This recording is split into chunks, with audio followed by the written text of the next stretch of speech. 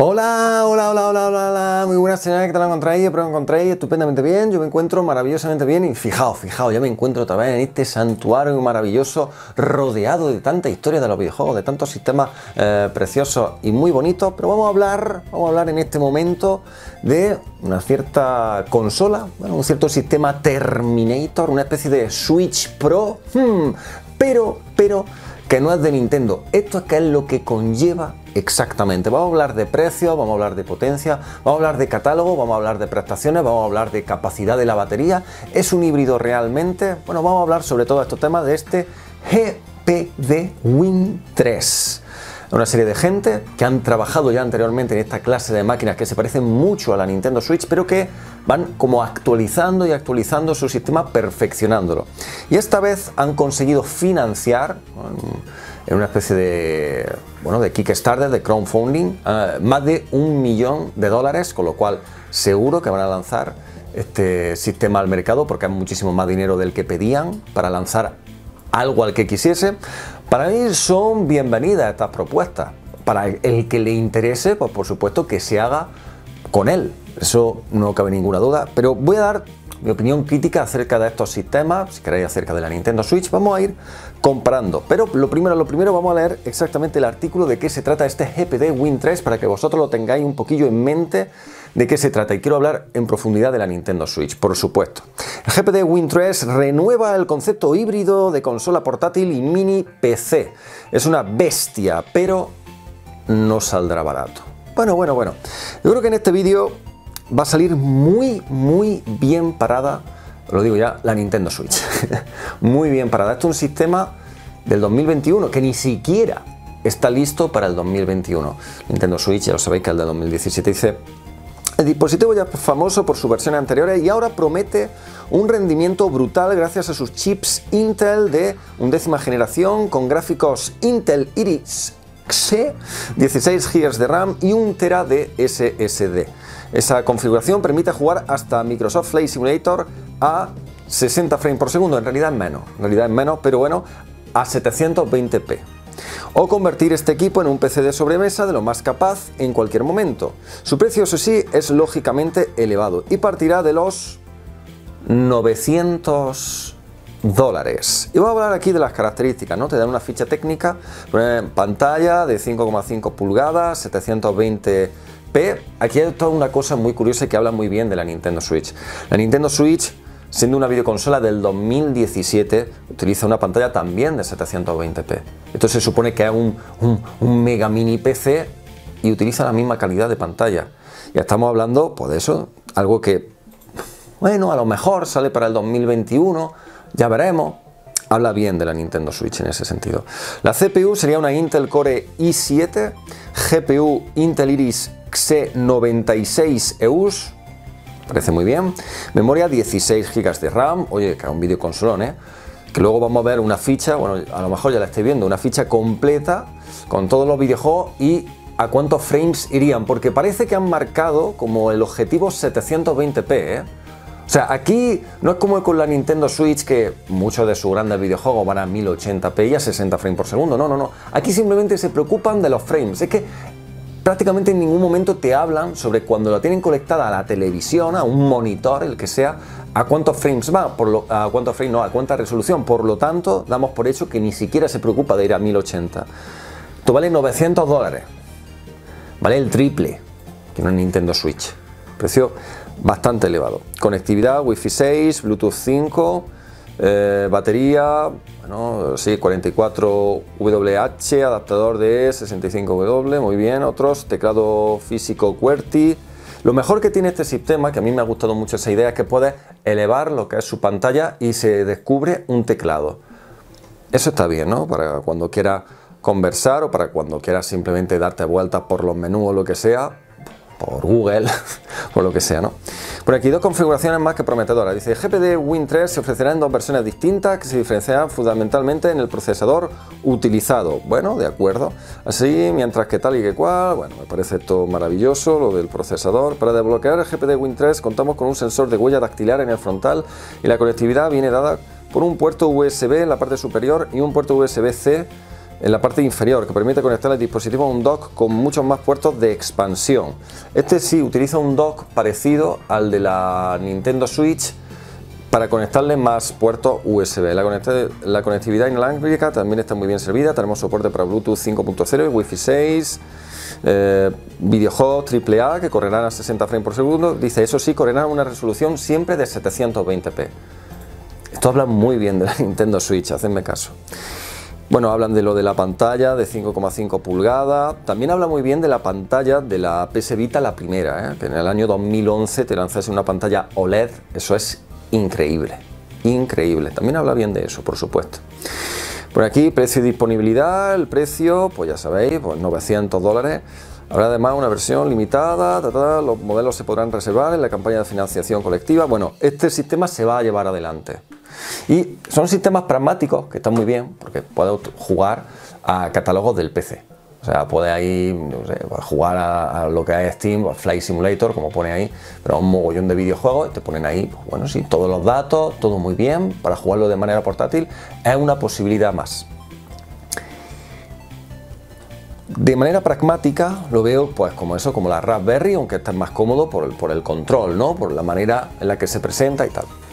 Pero, pero, ¿qué conlleva que este sistema no sea de Nintendo? En primer lugar, son sistemas, como yo digo, Terminators, que son como máquinas sin alma, máquinas sin vida, máquinas sin absolutamente ningún tipo de carisma. El mismo nombre, GPD Win 3, que dice, ah, ah ok, encantado robot. Sin embargo, pues bueno, aquí tenemos nombres como Game Boy. Aquí tenemos pues la historia, ¿no? El currículum vitae de lo que es Nintendo en cuanto a portátiles, que es la, gran, el gran, gran rey de reyes, siempre ha tenido un enorme éxito en todas las portátiles a lo largo de su historia y nunca nadie le ha logrado superar. Nunca. Esa es la realidad. Esa es la realidad. Aquí tenemos la Game Boy Color, gran sistema, la, la mítica Game Boy, que sobre todo lo importante que era este sistema es que fuese pequeñito y que utilizase las menos pilas posibles. Aquí tenemos que utilizaba dos pilas y le duraba bastante. Con lo cual es un sistema perfecto, duración de pila, pequeño tamaño, con lo cual la portabilidad es muy sencilla. Estaba muy bien. La pantalla, la novedad era que estaba a color, ya lo sabéis vosotros perfectamente. Luego fijaos si hay portabilidad, si hay portabilidad, tachan, esto esto es un bomboncito, ¿eh? esta es la Game Boy Advance, videoconsolón. Esta me parece que ya la pantalla la tiene retroiluminada. Y hace su tacatá. Qué bonita que es, fijaos aquí. Esta pedazo de Game Boy Advance que tiene un catalogazo maravilloso, la Game Boy Advance. Eh, muy menospreciada o al menos olvidada. Vendió bien, ¿eh? vendió muy bien la Game Boy Advance, por supuesto. Y fijaos, pues, esto yo creo que es portátil, ¿verdad? ¡Hala! esto cabe en cualquier lado. Fijaos qué maravilla, toda una maravilla. Eso hay que reconocérselo. Y el sistema tenía un alma de videoconsola de 32 bits, aunque luego los videojuegos eran una mezcla entre Super Nintendo y, PlayStation. O sea, se encontraba entre medias de esa calidad. Era esta videoconsola, Game Boy Advance.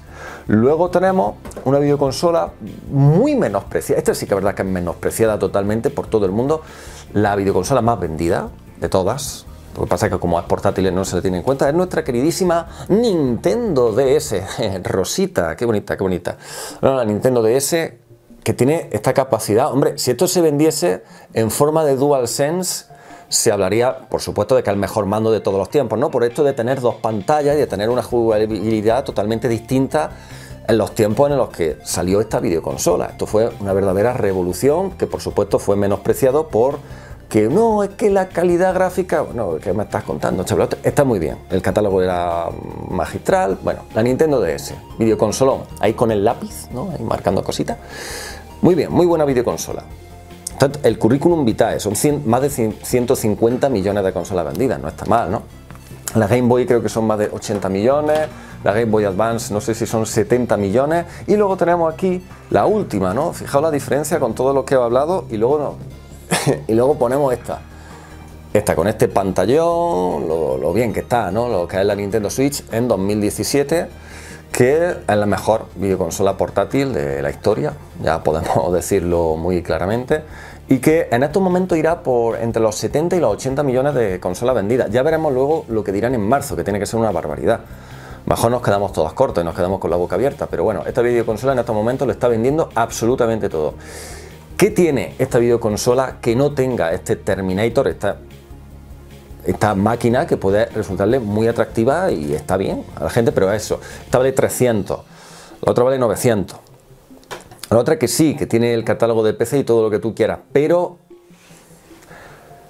es que la Nintendo Switch por 300 euros tiene el catálogo de Nintendo, que hasta el valor real, por supuesto, que tiene Nintendo. Tiene con muchísima diferencia tanto los más numerosos como los mejores exclusivos. Con muchísima diferencia. Aquí no hay, no hay tutía, aquí no hay ni debate ni nada. O sea, el Zelda Breath of the Wild, ya con eso nos vamos para casita y fuera. Super Smash Bros. Ultimate, buscar cualquier Luigi Mansion 3. tiene muchísimos videojuegos de una extraordinaria calidad. Luego, la batería le dura más de 3 horas. Correcto, luego después de la revisión que hicieron la, Nintendo Switch, la Nintendo Switch que se empezaron a vender hace dos años, tenía una mayor capacidad de batería. O sea, incrementado lo que era la batería. Y bueno, que está muy bien el sistema. Luego los Joy-Con, realmente para jugarlo así en modo portátil está muy bien, todas las cosas que te otorga. La videoconsola no se recalienta, no sufre, desde luego.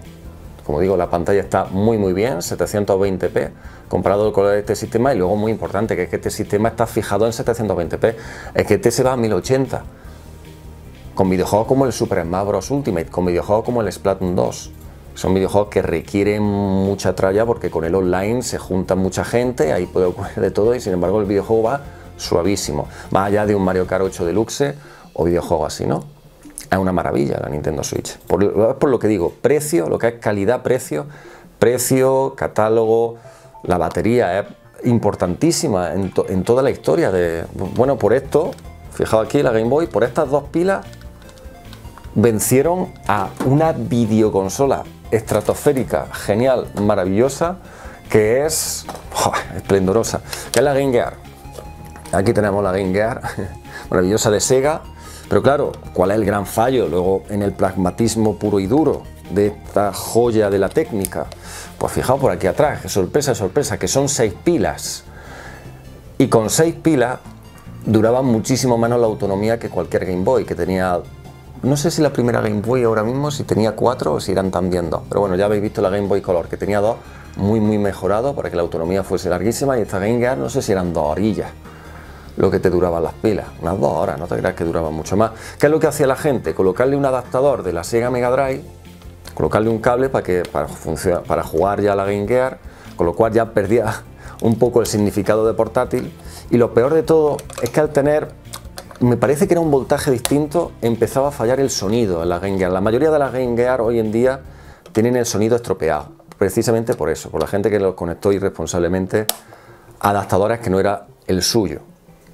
Aquí tenemos la Game Gear, que es maravillosa. Entonces, siempre lo que ha buscado Nintendo es que sea lo, más cómoda posible, lo más pequeñita, lo mejor, la autonomía, que siempre esté muy bien en ese sentido, ¿no?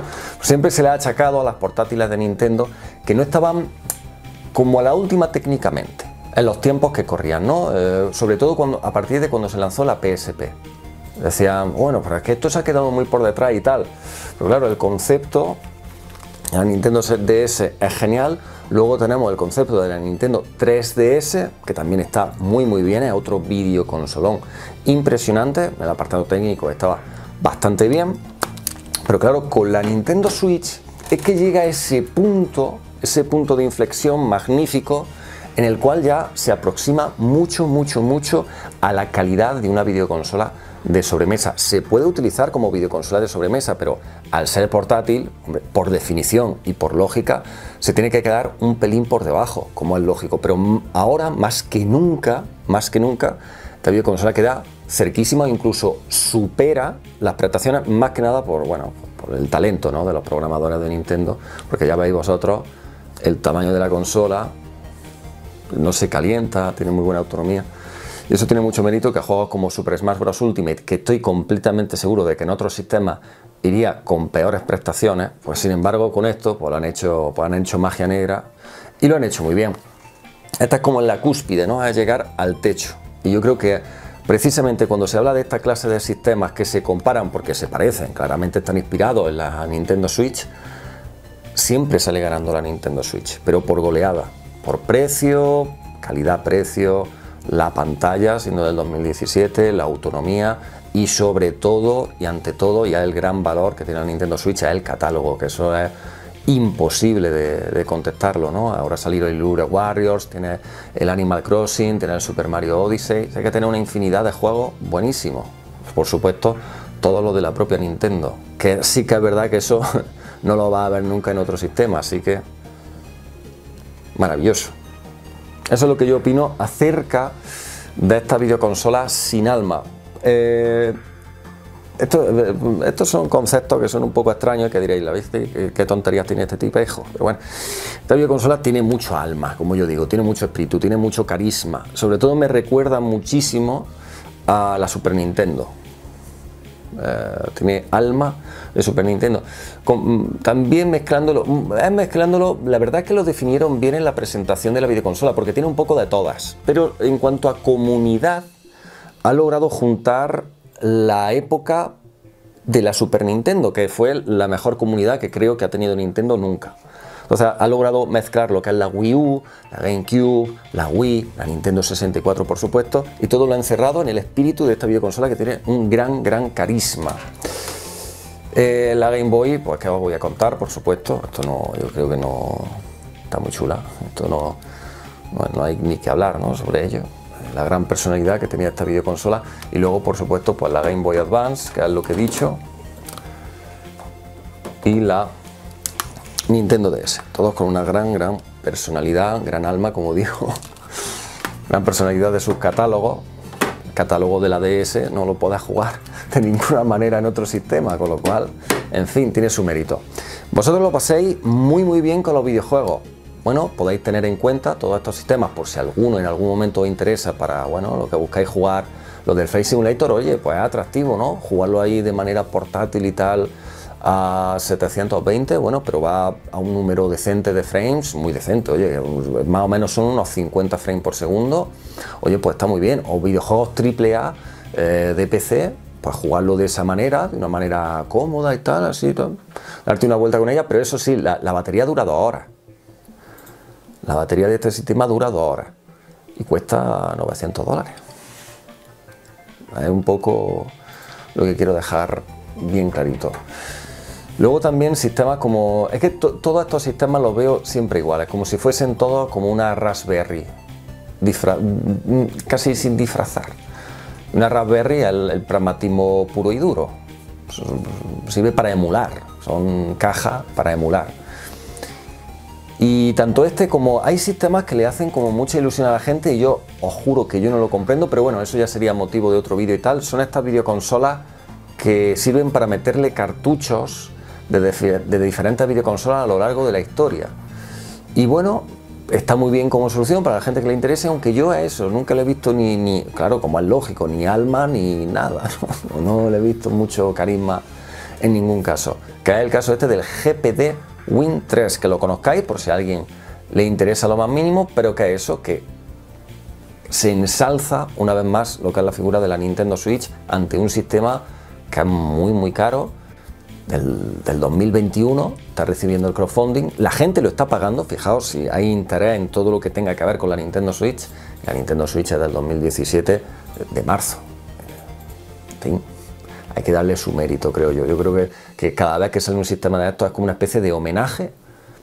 Podría ser perfectamente, ¿verdad? Diciendo, ¡ay, qué buena cara Nintendo Switch! ¡Viva, viva, viva! Y la Nintendo Switch pues lo ha conseguido, ya ha superado la, barrera en la que ya se puede, puede pasar lo que sea, que ya se ha convertido en una... Ya la videoconsola merece la pena, ya está más que amortizada, pero está en la mitad de lo que es el ciclo de vida de la videoconsola y veremos hasta dónde llega en cuanto a millones de ventas. Pues hasta, hasta donde Nintendo quiera, por supuesto, porque si fuese por el público, ¿cuándo empezarán a descender las ventas? ¿2022? ¿2023? Para ese entonces, ¿cuánto habrá vendido? ¿110 millones? ¿120 millones? La videoconsola perfectamente te puede llegar a 130, 140. Veremos si llega a 150 millones.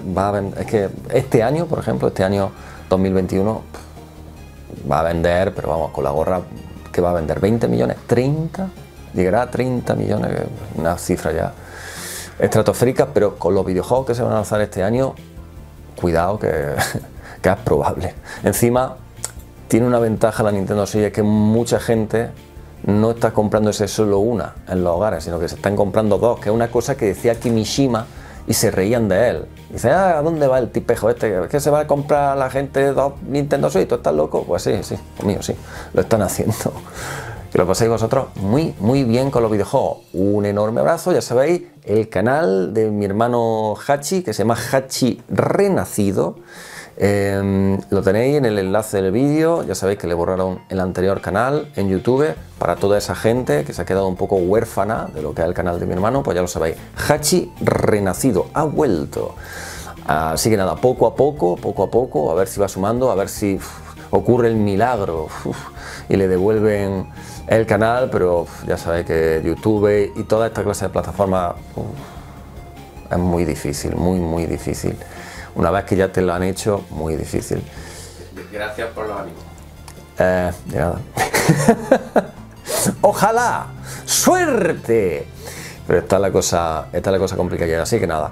Bueno, mm, ánimos para él. Luego tenemos a Tito Guldan, Tito Guldan, que fue el que realizó el cuadro maravilloso que está en mi cuarto, ahí yo celebrando ahí con los diferentes sistemas, con Ori, con Sonic, con el Street of Rage, maravilloso cuadro. Tenéis los cuadros de Tito Guldan en su página de Instagram. Vosotros ponéis en Instagram Tito Guldan, todo junto. Tito, o si fuese vuestro Tito, Tito Guldan, G-U-L-D-A-N, Guldan, Tito Guldan, todo junto. Y ahí pues pone su cuadro a la venta, está pasando el hombre como todo el mundo, ¿no? Pero a él lo está pasando, como todo el mundo, no exactamente, él está pasando por una situación de aquella manera. Entonces, pues bueno, está poniendo a la venta sus cuadros a precios muy asequibles, incluso a 100 euros, obra maravillosa, así que nada, échale un vistazo. Vosotros lo paséis muy, muy bien con los videojuegos. Un enorme abrazo a todos, muchos besos. Esta noche nos vemos en el directo. A ver qué, qué os contáis, guapísimo. Hasta luego a todos, hasta luego, hasta luego, hasta luego, hasta luego, hasta luego.